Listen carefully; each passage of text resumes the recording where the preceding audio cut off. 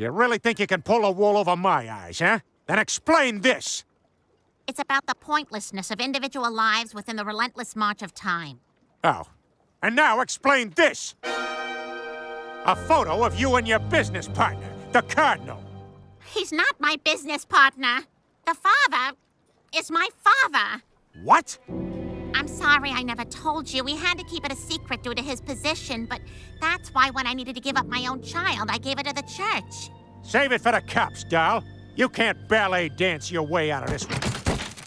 Wait, you had Charleston chews? When we hung out, you said you had like no snacks.